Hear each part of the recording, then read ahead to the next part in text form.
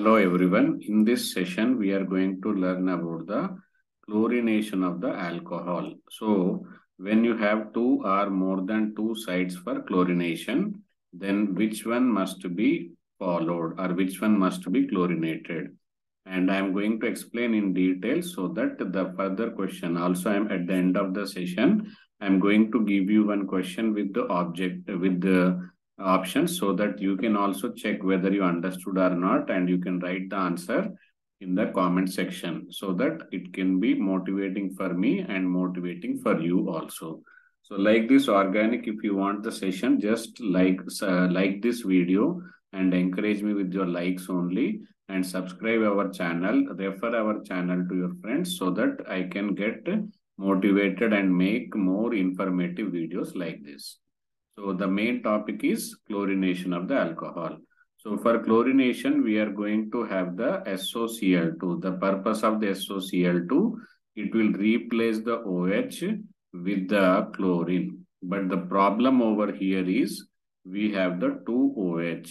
Okay. So which one to replace? Especially when they mention one equivalent or excess, that also makes a matter.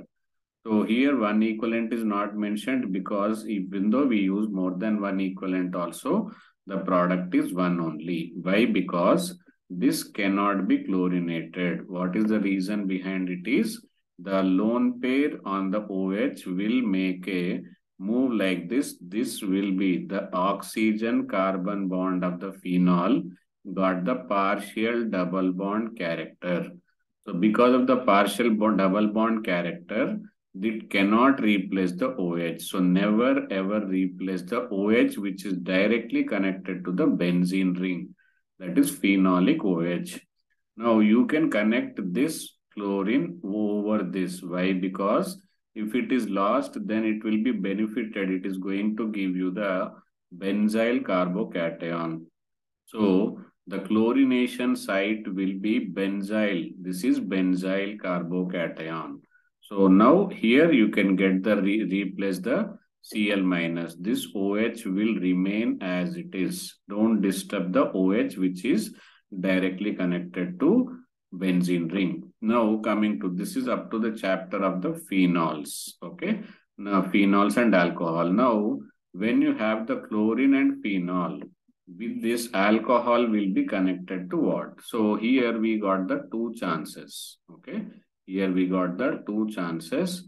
One is uh, this OH can be replaced and this OH can also be replaced. Okay, this chlorine also can be replaced. So if our CH2 OH, uh, sorry, CH3OH if reacted with this, okay, then as a phenols are acidic in nature, only thing it can do the H plus so H plus and OH minus. So this will result in the unstable carbocation. So this reaction is not possible. That means CH3OH cannot react with the phenolic because of the unstable methyl carbocation. What if it react with the OHCl? Yes, it is possible. This is the O minus. This is not carbocation. This is carbo a methyl group with the more electronegative. This can exist. So that means the final product will be phenol will be left as it is undisturbed in place of the CH2. First it was replaced by the chlorine. Now it will be replaced by the OCS3. So according to that, what is the correct answer?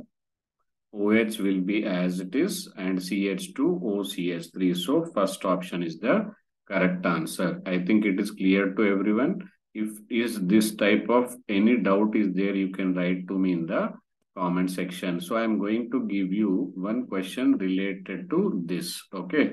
So see here. In this question, you are given with excess of SOCl2. Now you got whenever you have on the arrow SOCl2 is there, chlorination you will do. But here you got the three options.